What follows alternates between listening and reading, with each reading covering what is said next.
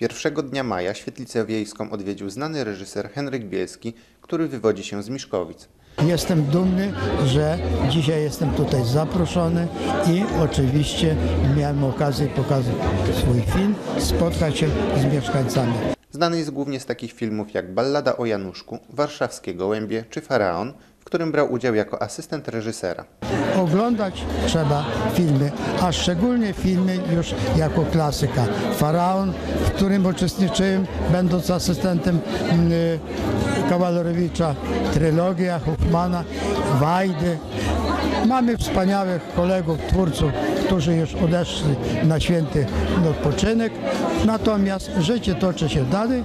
Znany jest również jako członek zespołu pieśni i tańca Mazowsze, z którym występował w kraju i za granicą w latach 1950-1958. Tak się stało, że zostałem zaproszony do Karolina, do siedziby Mazowsza i zdałem egzamin i stałem się członkiem zespołu, podróżując, a równocześnie w zespole był kręcony film pod tytułem Mazowsze przez Tadeusza Makarczyńskiego, gdzie brałem udział w tym filmie. To był 51 rok.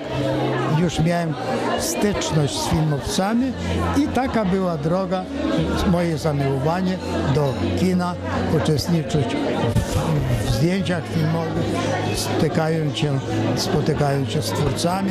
Henryk Bielski zajmuje się również reżyserią teatralną. Jest laureatem wielu nagród w dziedzinie filmu, między innymi Nagrody Szefa Kinematografii za twórczość filmową w dziedzinie filmu fabularnego za rok 1985.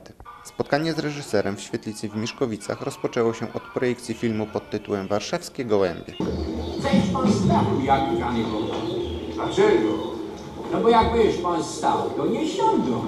Po emisji filmu pan Henryk opowiedział mieszkańcom rodzinnej miejscowości o swojej pracy oraz o swojej rodzinie, która przez cały czas wspierała jego osobę. Na zakończenie można było wysłuchać piosenki Starej Warszawy w wykonaniu członków kwartetu warszawskiego. Wiadoma rzecz i każde słowo zbędne i w ogóle, szczegół i podkreślę.